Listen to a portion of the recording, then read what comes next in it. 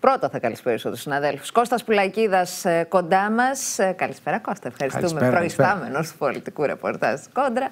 Αυγή επίσης. Ε, Κυριάκος Δημάγγελος, αρχισυντάκτης τη εκπομπής. Τον καταβάζουμε κάτω τις Παρασκευές πλέον. Απόντος Σπύρου Σουρμελίδη.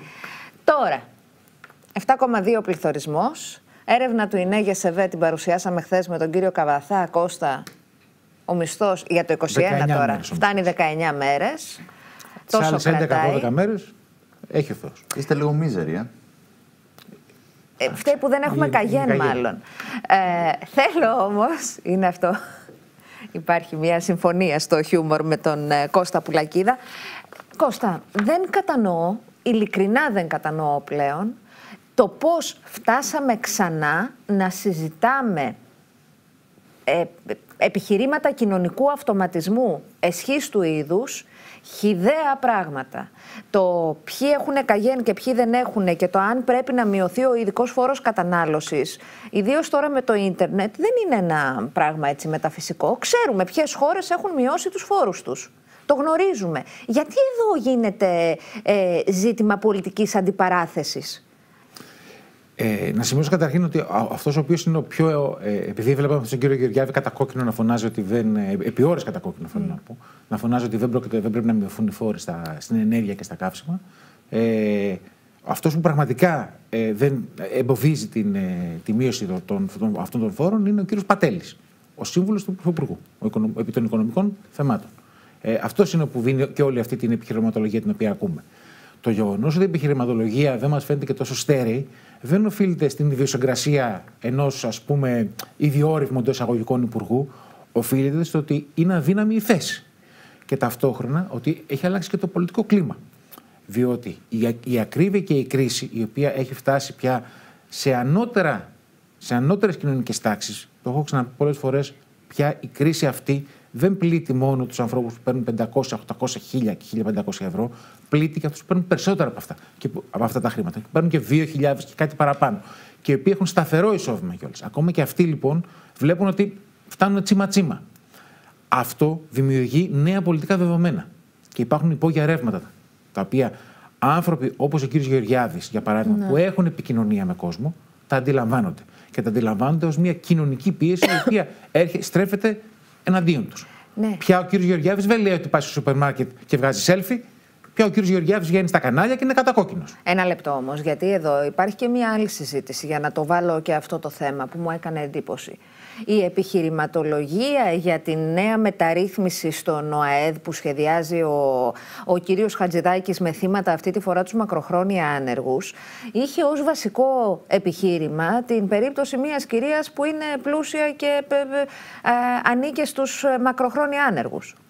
Ο κύριος Χατζηδάκης, τι έκανε ο κύριος Χατζηδάκης, έβαλε ισοβηματικά κριτήρια και άλλα κριτήρια για να παίρνεις το επίδομα ανεργίας. Mm-hmm.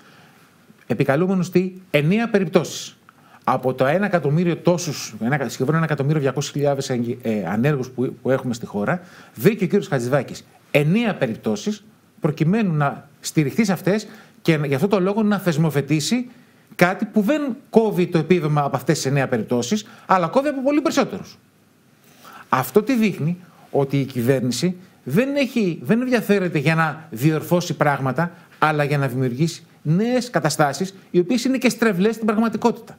Γιατί είναι στρεβλό να λες ότι όταν, ε, όταν 18 χώρες στην Ευρώπη μειώνουν το φόρο στην ενέργεια και στα καύσιμα, εσύ είσαι μία και μοναδική χώρα που δεν θα το μειώσει.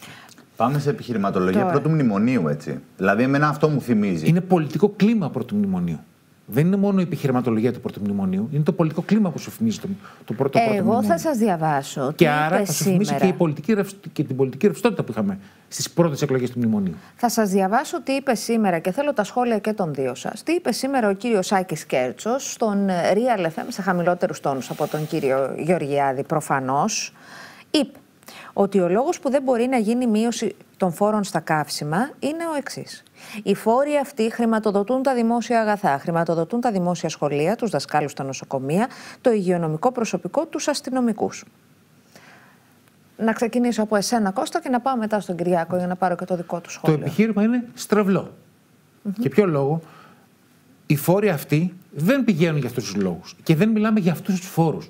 Η κυβέρνηση έχει προπολογίσει να πάρει 5,3 δισεκατομμύρια ευρώ από τους φόρους αυτούς. Όμως αυξήθηκε η τιμή. Κατά συνέπεια, τα έσοδα της από το, η τιμή των καυσίμων. Κατά συνέπεια, τα έσοδα της από, την, από τα καύσιμα δεν, είναι, δεν θα είναι 5,3, θα είναι περισσότερα. Γιατί αυτά τα περισσότερα λοιπόν δεν τα επιστρέφει σε αυτούς που τα πληρώνουν; Αυτό είναι το ερώτημα το οποίο πρέπει να απαντήσει ο κύριο ο, κύριος Σκέτσος. Για το δε το επιχείρημα, το ότι μα είναι τα χρήματα τα οποία, θα, τα οποία θα πήγαιναν στο ΕΣΥ, ωραία. Θα το πω τώρα και ας είναι, είναι Ποιο ΕΣΥ; πένθυμο. Θα το πω, θα πω το επιχείρημα. Λοιπόν, επειδή στην πολιτική, η πολιτική σημαίνει μετρήσιμα αποτελέσματα. Η κυβέρνηση λέει ότι δεν μειώνει τους φόρους για να, για να στηρί, γιατί, γιατί ενισχύει το ΕΣΥ. Σωστά. Ωραία. Τις πέντε πρώτες εβδομάδες του 2022, σύμφωνα με την Ελστάτ σημερινά στοιχεία, είχαμε στην Ελλάδα 32,44% αύξηση των φανάτων. Με ποια ενίσχυση και ποια ενίσχυση τους εσύ μας μιλάει ο κύριος Κέρτος λοιπόν; Όταν έχουμε περισσότερους φανάτους. Δεν ενισχύθηκε το εσύ, το, δεν ενισχύεται το εσύ με αυτόν τον τρόπο. Κάτι έχουν κάνει λάθος. Ναι. Και ποια ενίσχυση του εσύ. Έχουμε φανάτους. Ποια ενίσχυση του εσύ. Γιατροί δεν προσλαμβάνονται. Να είμαστε ειλικρινεί. Το σχέδιο που καταθέτει και όλες αυτές τις μέρες ο κ. Πλεύρης προβλέπει ιδιωτικοποιήσεις. Να το λέμε αυτό. 31 Μαρτίου πάνε για απόλυση όλοι οι γιατροί, όλοι οι υγειονομικοί οι οποίοι δεν έχουν, δεν έχουν εμβολιαστεί, και είναι χιλιάδες, είναι 5-6 να μην κάνω λάθος. Νομίζω γύρω Και επίσης θα σταματήσουν και όλοι οι άνθρωποι της καθαριότητας, οι άνθρωποι που είναι της ναι. φύλαξη και, τις, ε, και που είναι στα συσίτια και είναι ε, από. Και, και, και, έχουν, και είναι συμβασιούχοι. Οι οποίοι θα ξαναμπούν ιδιώτες, έτσι. Για θυμόμαστε την ιδιώτες. Που, τι γινόταν τότε με τους ιδιώτες; Πληρώναμε πολύ πιο ακριβά. Πληρώνουν το κράτος πολύ περισσότερα χρήματα. Και, και οι εργαζόμενοι, οι εργαζόμενοι έπαιρναν πολύ λιγότερα. Έπαιρναν ψίχουλα. Ε, και, κάτω και, από τον κατώτατο. Τα χρήματα τα ενδιάμεσα, αυτά τα πολλά τα, τα ενδιάμεσα, δεν τα τσέπαινε ο ιδιώτης και τα μοιράζει στο πολιτικό σύστημα έτσι. Mm. Αυτό είναι, ένα, είναι χρήμα που, τα, που, που πρέπει να το διανύμεις κιόλας. Θα κρατήσεις ένα κομμάτι, αλλά σε αυτό που στα έδωσε θα πρέπει να το τιμήσει κι αυτόν. Κυριάκο. Έτσι με... φτιάχνονται τα πολιτικά συστήματα. Έρχονται με μεγάλη φόρα στα νοσοκομεία. Σε, πο... σε πολλά νοσοκομεία. Σύντηση, στέγαση, φύλαξη. Ξανά. Δηλαδή είναι ένα, ένα πράγμα το οποίο έχει πολύ βάθος και το οποίο κοστίζει πολύ ακριβά. Μην, μην το βγάζουμε αυτό από την εξίσωση. Τώρα, Κυριάκο, θέλω να μου πεις, ε, εγώ επιμένω, εκτιμώ ότι είναι χιδαίο το επιχείρημα περί Καγέν, γιατί ξέρω πάρα πολύ κόσμο που βάζει 5 ευρώ βενζίνη να πάει στη δουλειά του και να γυρίσει. Και πλέον δεν του φτάνει το 5 ευρώ. Γιατί, γιατί δεν τον εξυπηρετεί η συγκοινωνία που δεν είναι σωστή, δεν είναι στην ώρα της. Γιατί φοβάται με την πανδημία που έχουμε κηρύξει το τέλος της, αλλά και σήμερα έχει 50 νεκρούς και κάτι, και έχουμε ξεπεράσει 26.000 νεκρούς. Λοιπόν, θέλω να μου πεις, εσύ, τι βλέπεις, ε, είπες ότι επανέρχεται η επιχειρηματολογία του μνημονίου. Ναι, εγώ νιώθω ότι ξαναγυρνάμε σε μέρες πρώτου μνημονίου. Η επιχειρηματολογία, το κυβερνητικό αφήγημα που στείνεται για να δικαιολογήσει τα μέτρα παραπέμπει σε εκείνες τις μέρες. Αυτό τώρα το επιχείρημα που ακούγεται περί καγέν και βενζίνης είναι πραγματικά είναι φεδρό.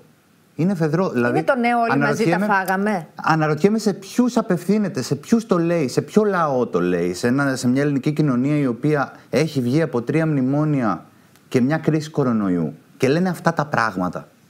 Είναι πραγματικά εντυπωσιακό. Δεν, ξέρω αν μπορεί αυτό το πράγμα να πείσει κάποιον ή απλά αποτυπώνει αυτό που έλεγε και πριν ο Κώσος Πουλακίδας, μια τεράστια πολιτική πίεση που τη βιώνουν και το ξέρουν ότι πλέον τη βιώνουν.